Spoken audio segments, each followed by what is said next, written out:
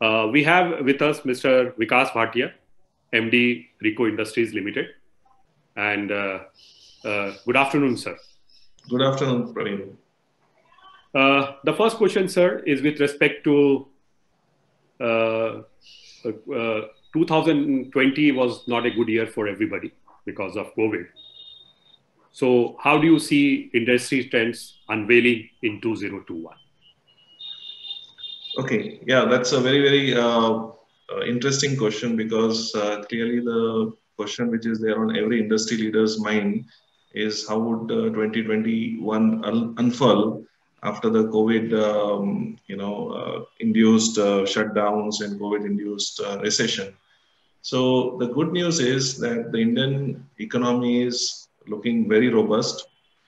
demand has picked up from various sectors and certain sectors which were resilient to the recession were performing even through the lockdown, such as food, pharmaceuticals, and uh, intermediate chemicals.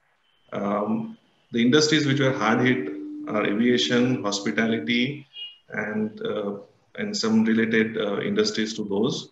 But overall, the forecast for the Indian economy is robust, and similarly for the chemical industry, uh, we see a a huge growth opportunity because of the fact that uh, you know the demand for both bulk chemicals and specialty chemicals is continuing to grow and that will fuel the growth for the entire industry. So uh, out of the 5000 installations that you have completed in the last 45 years how many installations are related to chemical petrochemical gas energy agrochemical and pharmaceutical in 2020 so in two zeros, uh, so on an average, uh, we are doing uh, 300 plus installations uh, in a year, and uh, typically 40 to 50 percent of this business is uh, you know generated from industries of chemical, petrochemical, and we have worked with several big players, medium scale players, and small players as well. and depending on the needs, we have provided different kind of installations both in terms of uh, grinding, uh, powder conveying, and dust collection or air pollution control, as we call it. So yeah, around 40%. So the number would be around anywhere between 100 to 120. And and and how many of them uh, uh, gets completed in a year or so? So typically the project, the timeline depends on the complexity, uh, but we would say that uh, projects which we execute typically take anywhere between three months to six months. Uh, some go beyond six months, some can be done within three months, but uh, typically the time frame for execution would uh, range in the period of three to six months. And so uh, companies which have, you know, placed orders in the beginning of last year the execution has been uh, happening and uh, because of this we have not faced any revenue shortfall we are continuing to hold revenue numbers as we had done for last year and we expect that now the momentum will further grow and we should be able to uh, accelerate our momentum of closing the uh, order execution. In, in 2020, you have added uh, three new partners, TCAM, RSBP, and ETIA. Right. How, how have these partnerships helped the company in terms of solution promising that you have been doing?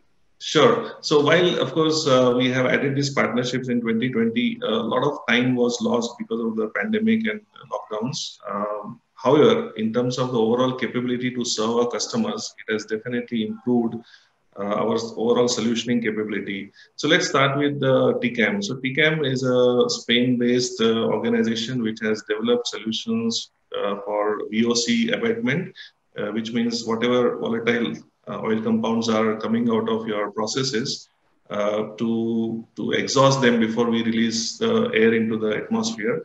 Uh, those solutions will be very helpful where, wherever the uh, industry process is generating any kind of volatile compound. So, for example, oil and gas. So, any kind of oil which gas which needs to be flared up can be passed through the uh, RTO solutions which TCAM has to offer. So this way, uh, apart from dust control, we now also have solutions for VOC abatement, uh, which is what uh, TCAM has to provide. Similarly, RSBP is a global player in providing uh, fire and explosion safety devices. So most of the chemicals and petrochemicals have a certain uh, nature which is explosive or uh, subject to fire and, and those risks are always present. Now containing those risks is important for any industry uh, and we have seen several um, safety related incidents also happen and this will help uh, you know, reduce the overall uh, risks which are there in such processes. And as far as ETI is concerned, it is primarily into uh, the product which we have tied up is for steam sterilization. It is more relevant for food products where there are pests and those pests needs to be eliminated using uh, you know steam sterilization as a process. So I feel that uh, since RIECO caters to several industries apart from chemicals, uh, this solution also will be very useful to our customers in the spice and the food business. However, the the, previous two business, previous two collaborations which we have entered into are very relevant for the chemical, petrochemical, and uh, related industries. I would request if you can share your revenue and profitability numbers of last year and what's the forecast for 2022-21, both on revenue and profitability numbers. So uh, I cannot disclose the numbers uh, fully because we are a private limited company and those numbers are not in the public domain. However, I could share that in this financial year, we are expected to grow very uh, at a modest level, and that's because we had consciously understood the impact of the uh, lockdown and the pandemic. So we have been uh, taking orders very cautiously, and wherever we feel that the liquidity uh, will be ensured while executing those orders, we have been uh, choosing those. So this year we'll record probably about 5% growth uh, with profit margins more or less intact as what we had seen uh, previous year. However, FY21-22, we are forecasting a huge growth and we are already uh, having sufficient good inquiries from the customers, which uh, give us the confidence that we will be able to achieve more than 30% growth over this year. And what is the reason for the growth in FY 2021 and 22? Uh, so 21, 22 FI, the growth would be because uh, one, there was a pent up demand, which uh, now will get uh, filled up. So organizations which had put their capital expansion plans, uh, capex plans on hold, uh, are now coming back.